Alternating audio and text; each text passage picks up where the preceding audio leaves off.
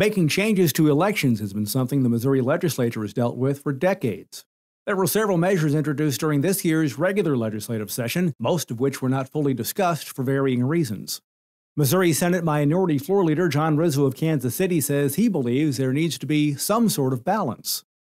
One, because people deserve full and free access to the ballots, but we've seen the corporate backlash of companies that are not okay with making it more difficult to vote.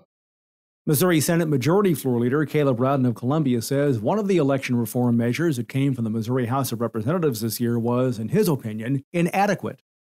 Changing the threshold to make sure that if we put something in the Constitution that it meets a higher standard, both for us and for the initiative petition process, I do think that's good public policy. As is usually the case, some of the same legislation introduced this year will see a return during next year's regular legislative session. Reporting from the state capitol, I'm Dean Morgan.